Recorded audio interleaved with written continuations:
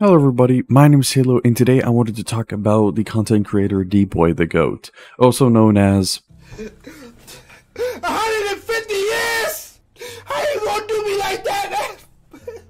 I ain't trying to do 150 years, man. I ain't even living. Now the reason I wanted to bring this guy up is because he does not seem okay in the head and I genuinely think he needs to stay off the internet.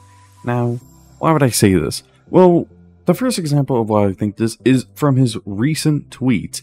From what we can see, he's just starting random arguments with kids on the internet, on Twitter, and talking about how, talking about people's mothers and going to people's funerals and just seeming plain out racist out of nowhere. Like, this is a dude everyone thought was wholesome. Uh, he was known for that 150 years meme. And now he's just doing stuff like this. I don't know, it's just weird.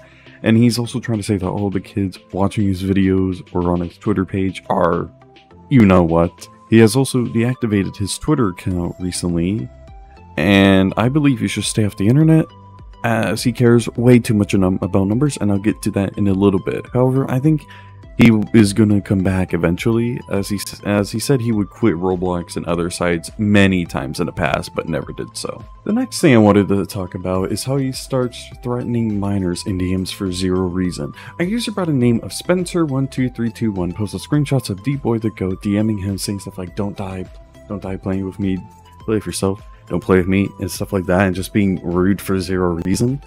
Keep in mind, this is an adult with four kids talking to a 15 year old on Twitter. That's a little concerning.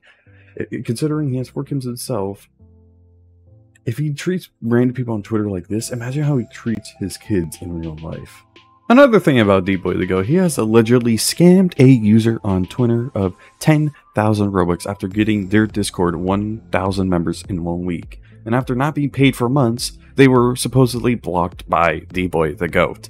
I just wanted to throw that in there because, first of all, he's causing like arguments with random kids and all that, and now he's scamming people apparently. I don't know, this needs to be looked into more.